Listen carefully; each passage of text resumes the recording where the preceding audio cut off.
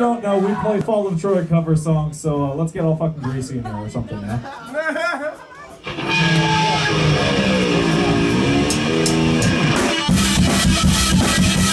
Let's go.